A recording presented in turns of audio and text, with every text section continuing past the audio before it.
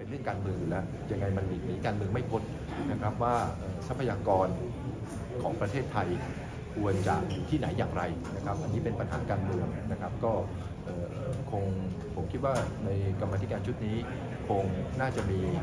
เอ่อข้อสรุปที่เห็นร่วมกันได้นะครับมีการวิเคราะห์ว่าการก้าวเริ่มเข้ามากลับเข้ามาในส่วนกรรมธิการจากมูลทางเพื่อเตรียมกลับเข้ามาทางการเมืองของพี่มอมนะครับโอ้ไม่หรอกครับก็ในส่วนตัวไม่หรอกครับก็ทางพรรคเก้าวไกล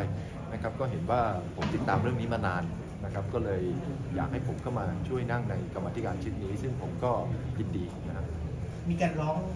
ถึงประธานด้วยว่าตรงนี้มาได้ไหมอยู่ได้ไหมโอ้ก็เป็นมาหลายกรรมาธิการแล้วก็ไม่มีปัญหาอะไรครับคาดหวังยังไงคะวันนี้กับคำตัดสินนะคะของศาล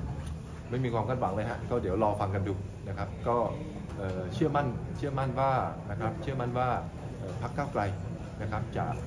ไม่ถูกยุบนะฮะยังไงคำวินิจฉัยของศาลรัฐมนูญวันนี้ก็ไปไม่ถึงตรงนั้นอยู่แล้วนะครับผมคิดว่าอยากให้สังคมกลับมาตั้งหลักเรื่องนี้ให้มั่นๆนะครับ พอชื่อว่าเป็นกฎหมายแล้วเนี่ยนะครับกฎหมายไม่ได้ส่งแฝงมาจากพระเจ้า กฎหมายร่างด้วยมือมนุษย์นะครับ ดังนั้นในเมื่อมันร่างด้วยมือมนุษย์แล้วเนี่ยนะครับมนุษย์ก็ต้องแก้ไขมันได้ ผมว่า นี่คือหลักการพื้นฐาน ถ้าสมาชิกสภาผู้แทนราษฎร ซึ่งเรียกได้เต็มปากว่าเป็นฝ่ายนิติบัญญัติ ไม่สามารถแก้ไขกฎหมายได้ ผมคิดว่าคงมีอะไรไม่ปกติแล้วแหละในประเทศนี้ กังวลไหมครับว่าคำวินิจฉัยของศาลในวันนี้มันจะเป็นบรรทัดฐานในเรื่องของการแก้หนึ่งหรือสองในอนาคตนะครับผม ว่าอาจจะทำได้ยากขึ้นอะไรอเงี้ยย่างที่ครับบอกนะฮะเรากลับมายืนในหลักการมั่นๆนะครับสภานิติสภาผู้แทนราษฎรคือฝ่ายนิติบัญญัตินิติบัญญัติก็บอกอยู่แล้วคือเอ่อเป็นฝ่ายที่บัญญัติกฎหมายนะครับกลับมายืนในหลักการตรงนี้ให้มั่นๆเนาะคุณขอตัวถามถามเรื่องกรรมธิการมองยังไงครับที่คุณจิรายุ บอกว่าอยากจะนั่งประธานชุดนี้ขณะที่คุณยุทธตอนนี้ ก็เป็นโฆษกกระทรวงกลาโหมด้วยมันจะเพราะผมเชื่อว่าเอ่อคุณจิรยุคงทำหน้าที่อย่างเป็นธรรมในฐานะประธานกรรมธิไม่กาขัรดข้อง ไม่ก็ไม่ไม่ติดขัดอะไรครับครับขอบคุณมากครับทุกท่านครับขอบคุณครับเชิญครับ คาดหวังยังไงกับแนวคิดของกรรมธิการชุดนี้ครับที่จะมีการทวงอะไรอย่างเงี้ยคือผมคิดว่ากรรมาธิการชุดนี้ก็น่าจะมีเอ่อ เป้าหมายนะครับอย่างแรกก็คือศึกษาดูว่า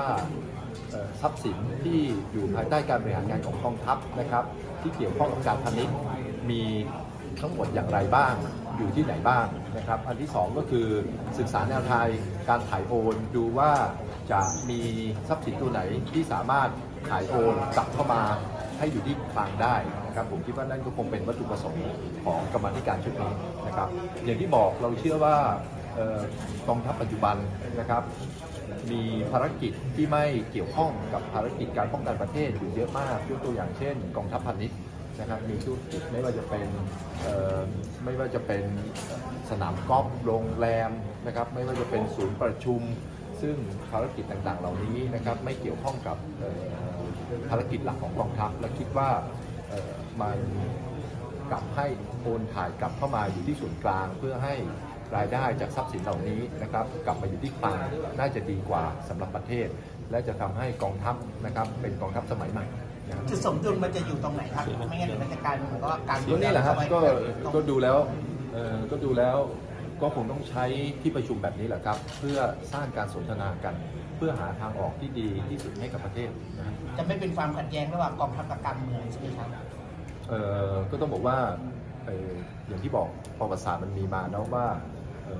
ในอดีตนะครับกองทัพนี่ก็ไม่มีงบประมาณของงบประมาณก็ไม่ได้นะครับทำให้กองทัพขอทรัพย์สินบางส่วนไปบริหารเองเพื่อจัดเป็นสวัสดิการให้กับทหาร นะครับแต่วันนี้เวลามันผ่านล่วงเลยมานานแล้วแหละนะครับ ก็เห็นว่าถ้ากองทัพอยากจะมีสวัสดิการก็ขอให้เหมือนกับกระทรวงอื่นๆขอผ่านกลไกสภาตามปกตินะครับ ส่วนในการพาณิชย์ทั้งหมดของกองทัพก็ควรจะโอนกลับเข้ามาอยู่ที่คลังนะครับให้มันเหมาะสมคิดว่าไม่น่าจะนำไปสู่ความขัดแย้งก็คงยังไงเรื่องการจัดสรรทรัพยากรมันเป็นเรื่องการเมือง